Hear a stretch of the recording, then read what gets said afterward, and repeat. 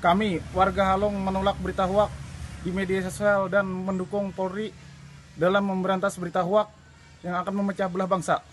NKRI, yes, hoax no.